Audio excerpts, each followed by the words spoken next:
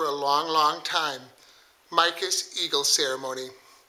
This is a special night for Micah, for his family, and for all the members of Troop 78. For you don't do something like this in a vacuum. You're part of a, a team, part of a troop, part of a family. So it, it is really a night of celebration for not just Micah, but for all of you. Micah's Eagle Project was just the final leg of a journey that was filled with many different steps along the way. All the merit badges that he's gotten and all the things that he's learned. Thinking of what I should say tonight, I spent a lot of time looking at how scouts describe themselves and what is expected of them. I also asked myself, what perspective do I have that is unique? What I can offer you is the inside scoop. What is it like to live next door to Micah? What does it mean to be Micah's neighbor?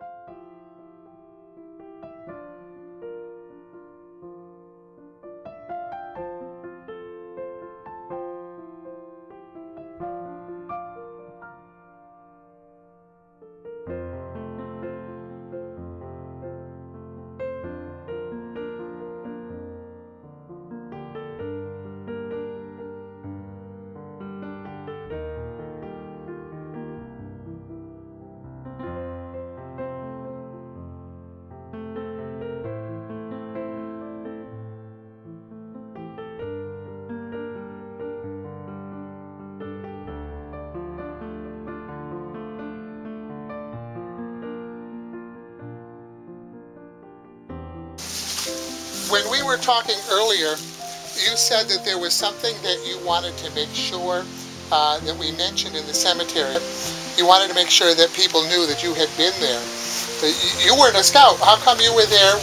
Well, you know, he called me up probably three weeks before it happened and asked if, you know, I wanted to help and if I could help. And I said, absolutely, you know, I got your back no matter what. I, I'm going to read you something here. See if you recognize anything here. Someone you can trust with anything and everything you have. Yeah. Someone. That, that's what I wrote. Would you Would you read this for us? Yeah. Someone you can trust with anything and everything you have.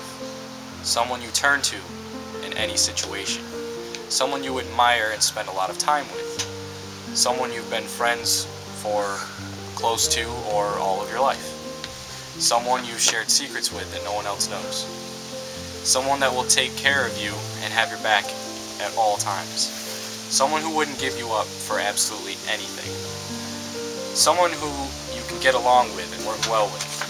Someone who you could spend lots and lots of time with and still get along. Someone who will encourage you and help you achieve your goals and dreams in life. Someone who will stick by your side to the very end of time, no matter what situations come up. To me, that is best friend. And that is exactly what Micah is to me. It's morning, the day of Micah's Eagle ceremony. My friendship with Micah has been filled with inspiration, humor, and surprise. The mixture helped me learn something those of us without children might not have had the blessing to learn. He helped me to understand unconditional caring and support, right or wrong, in good times and in bad. Growing up, you see, is a process. Growing pains on one hand, incredible joy and satisfaction on the other. Having the opportunity to witness this is priceless. What I realized the night of the rollover competition was that I had witnessed a transformation. Over those three years, I had seen Micah transformed from a boy to a man. I seem to remember an expression like that we turn boys into men. And sure enough, I found it on page after page of Boy Scout web pages. So to all of you uh, who are a part of Troop 78, I applaud you. Micah, congratulations. Thank you and God bless you.